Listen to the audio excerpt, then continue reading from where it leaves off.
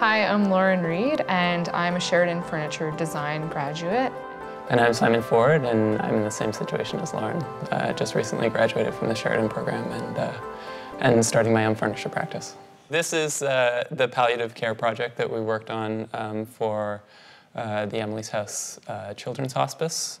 We created a table that is wheelchair accessible and also um, can be used as like a community within the house, so kind of like a central hub where people can meet and sit around and gather.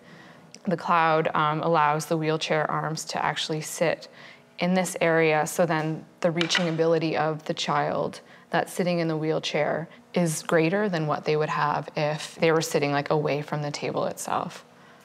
This is really our first big commission project, so Yeah. to know that somebody else is going to be using it and, it, and that it's going to be part of Yeah. their their daily lives is is And I a think- nice feeling. And I think it definitely like showed us the kind of work that we want to continue doing. Yeah. Like down the road outside of school, like we want to be creating special pieces because it is a way more rewarding and satisfying experience to, you know, be a part of something like this. Yeah, and to give back to the community.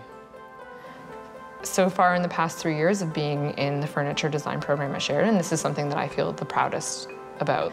To finish our third year in the program and to, to have created something like this in the final term, it was probably one of the more rewarding experiences I've ever had in actually making anything.